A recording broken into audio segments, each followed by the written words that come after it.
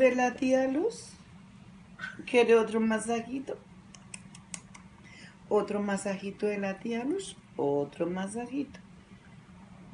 ¿Quién quiere masajito? ¿Otro masaje? ¿Masajito? Sí, no, que otro masajito a mi perro linda.